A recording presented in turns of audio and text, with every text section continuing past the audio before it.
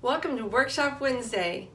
We're going to look at how to make handmade paper with using items that you have around the house and create some wonderful different types of paper just by using supplies that we can find and utilize at our house without spending a bunch of money, but yet we can try this little technique on a smaller scale here at home. Here's some others to show you. These are pretty cool. I don't know if you can see the texture. There's some patterns on these. I'm going to show you how to do that. Or we can also look at molding paper.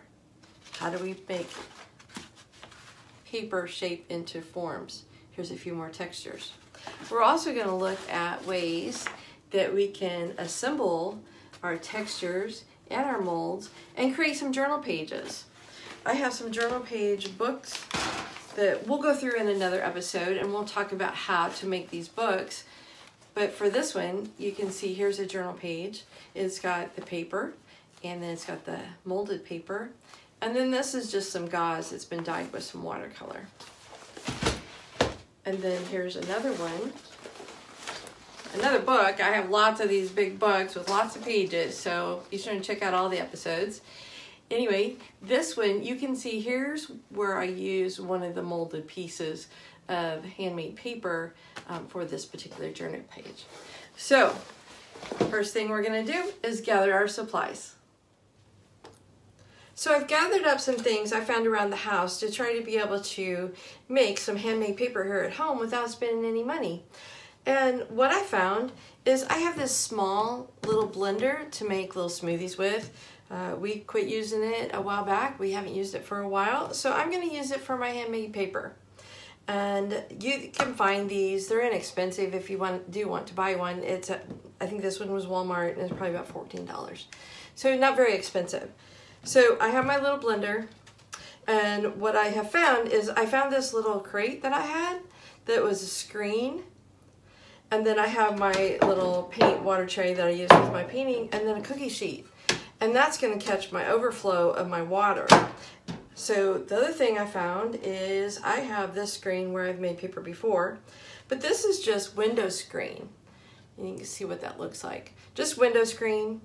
And so I'm going to lay this on top of my crate that where the water is going to soak through. But this is going to allow me to pick up my paper very easily and not have to try to peel it off of this screen. So I like to always put a piece of screen down first before I start this process. And then I located a sponge. So I have a sponge. I have a container of water. I have a container that I have paper soaking in. And so for my handmade paper, I have a lot of scrap paper around from my journaling and stuff. And so I just have a bin of lots of scraps. So I went through and pulled some of that out and tore it up. You can use old mail, you can use newspapers, uh, all kinds of things. I would not use decorative papers that have glitter or other metal pieces on them. It doesn't work very well in the blender and it will it'll pretty much damage the blade. So I would just use things that you can just repurpose and recycle and give them a new life. So the first thing I'm going to do is I'm going to take my paper that's been soaking for a while and I'm going to pour it into my blender.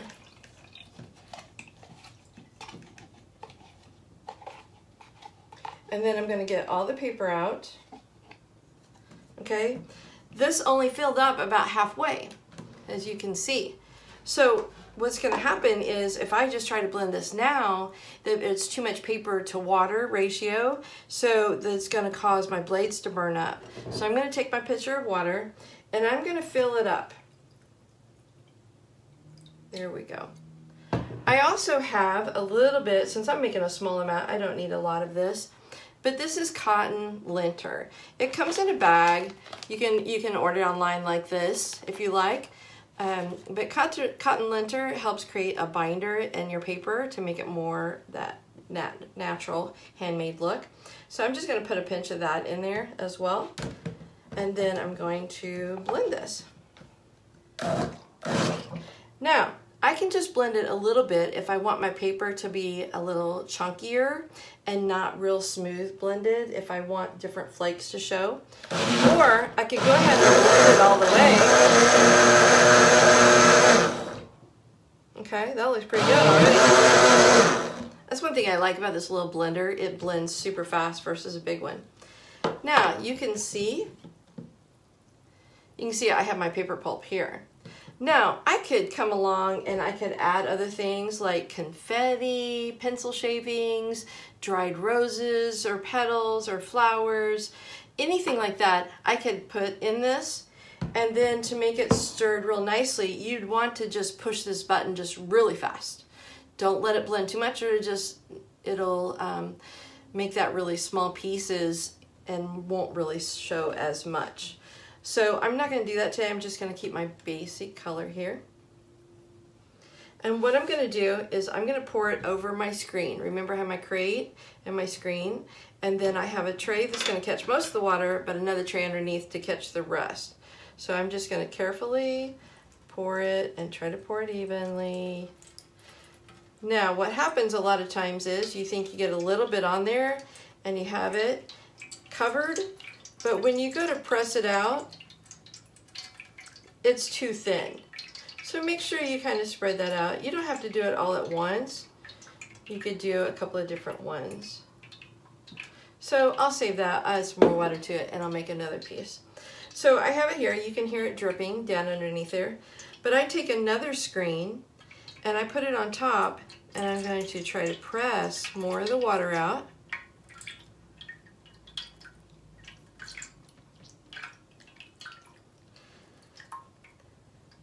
You know, if you were at school or you know, at, at, some businesses, they have actual presses that will press that water out, but you're just at home and you just want to give it a try. This is a nice way to do that, just using things that you have. So I have a lot of water pressed out. The next thing I do, I want to use my sponge. So I'm going to take my sponge and I'm going to keep rolling it and push the water out to the side. And the more water I get out, the more firm my paper will be.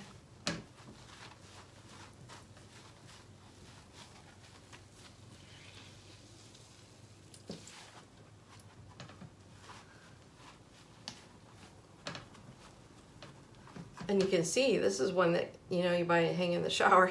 It's got the little knob on it. I should have cut that off, but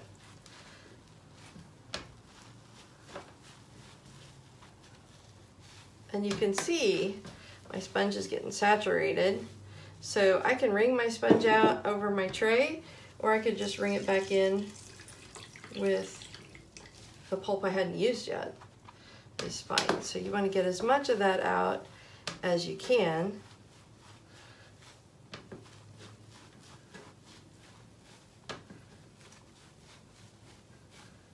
And then you can check it. Now it might stick to your screen but what you all you have to do is just kind of get it started and that will roll right off. I probably need to get a little bit more water out of that. But then you'll have your paper. And then you want to sit and let that dry. Now, if you were going to mold it, you want it to dry just for a little bit, but not completely. Otherwise, it'll be hard to form. If your paper dries completely, all you have to do is spritz it with some water and then put it in your form. So for example, here's this small one. So here's this small one. Okay, so all I would have to do is spritz this with some water and then I can put it over a form. I found this one time and I looked at it and I love this piece of metal with all these different circles and these shapes on here. And so what this does is that allows me to push my paper. You can take a rolling pin, you can just push it with your fingers, whatever works for you. If you have a brayer from printmaking, you could use a brayer and roll it over that. And what happens is you get this really nice, cool effect that looks like this you see that the little bubble shapes. And what's fun is what you'll find is where this metal is here and it comes here, it's super smooth. So it's textured in between, but it's super smooth on the other parts. You can see where I put a little confetti in this paper and I'll put some close-up shots at the very end of the video for you to see some of those. But look around and see what kind of cool things that you have laying around that would work for this. I know other things that I've used. Sometimes woven baskets work great or crates that have this pattern on them. You can also, um, sometimes there's plastic um, rubbing plates. If you have some of those laying around the house, you could also press your paper into that. This one happens to be butterflies. So it's a lot of fun because once you get started, it's like, oh, I could make this, or I could make that texture, or that pattern. That would all be really cool. The other thing about doing molds, so this is a mold. It's actually little little faces, kind of hard to see. But I thought this was really fun. This mold here is actually small little children. So one side this is like for ceramics when they pour slip into them to make molds. And sometimes you find these even at thrift stores. It's kind of fun. And you can use them to make paper. This one is like little children. That's the front sides. And then this one is, of course, the back sides because when the mold goes together to pour your slip in, you know, you have the two sides. But it's kind of fun to take your, your wet paper. Let's see if I got enough out of this one and we can kind of do it here what you want to do is make sure that you have this sprayed or you've used Vaseline or something on it to keep them from sticking. Okay? And then you can take your paper. Mine's a little wet, but let's give it a try. So I'm going to roll that off.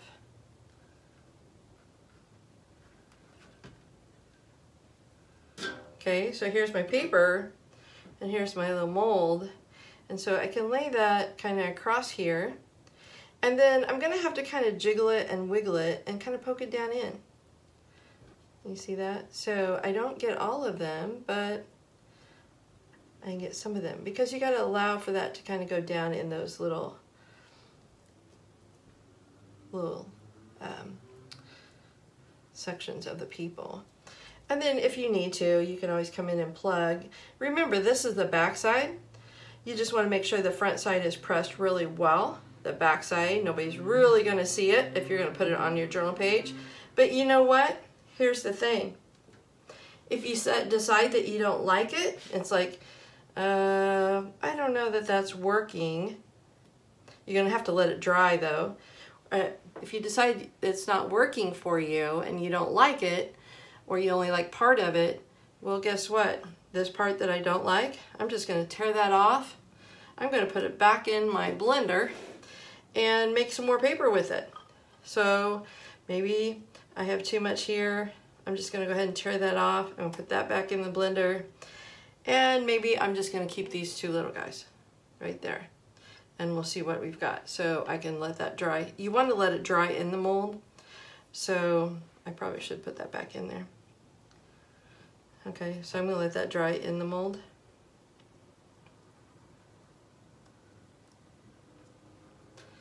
And put a little thicker piece there over his face so I can shape his face a little bit more. So I'm just going to set that aside and let that dry. So here's my extra. What I can do, I can just put that in there and guess what? You need to make sure you fill this back up with water so you don't burn your blade. And just zap it real quick.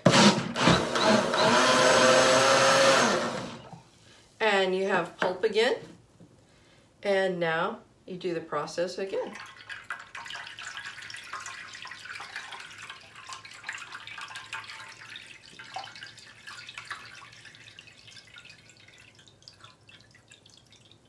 So if you decide you don't like what you've got, you can just start over, scoop it up, put it back in, make it wet again, and start with a whole new process. And it's really fun to start mixing colors. You know, think about color theory and your color wheel.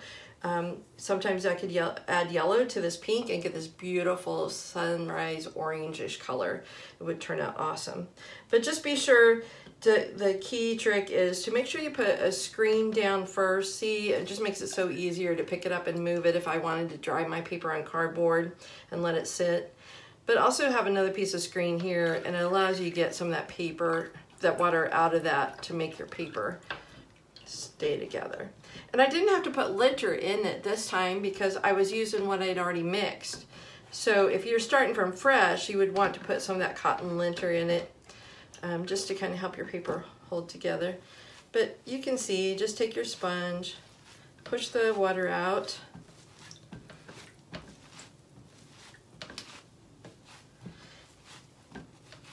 And then pull this back of course, you're gonna get most of the water out. And then put this on a piece of cardboard and just set it aside and let it dry. Okay, I will tell you though, this water that's left over, there's still a little bit of pulp in it. Do not put this down your toilet, your sink, or any drain of your house. Um, because that paper, you can see how my screen, some of the paper was still sticking to it. When it dries, it'll dry to your pipes. So you don't wanna do that. So since it's paper, it'll disintegrate. So um, I just go outside and dump it outside. We even do that same thing at school. We take it outside and dump it. We don't put it in the sinks at school. All right, have fun, give it a try, see what different things that you can come up with. So here you can see the pink paper that I had pressed the water out of. I flipped it over and put it on top of that round screen. And I left, or the round metal shaped that I wanted those circle shapes, and then I left the screen on top.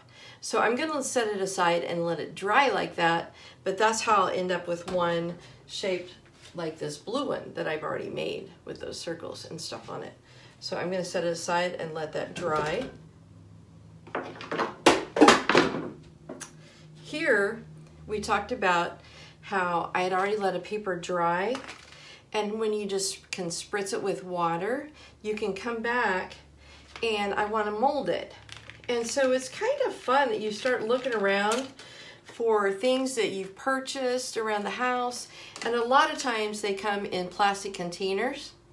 We'll look at the plastic containers for what those shapes might be because it's an opportunity to come and mold it like those shapes. So this was in the craft department. This had a bunch of different shapes of keys on it. And so I kept it because I thought, oh, that would be fun for molding paper. And so you can see the different keys. Let me see. Can you kind of see that? Anyway, I'm going to take my mold and put it on my paper. I'm going to flip it over and lay it down here. And I'm going to slowly try to push it in and shape all those keys. And that's just a plastic mold. Now you also can use candy molds, um, anything like that if you have some of those that you're not using for baking anymore. Once you use them for these kind of projects, I wouldn't use them for baking anymore. But maybe that was a project you did at one time and you don't do that anymore and you can use them and give them a new life and try it for this. That would be fantastic. Another fun thing to do is if you have cookie cutters, it's fun to put the cookie cutters on your screen and pour the pulp in that cookie cutter and then you can make actually handmade papered shapes the shape of your uh, those cookie cutters. So then you can have all kinds of different things made with handmade paper. So you can see I've pressed this one in. Okay flip it over see if you can see. You can see it's going to mold to those shapes. So we're going to let those dry and then we'll come back and look at all the final product.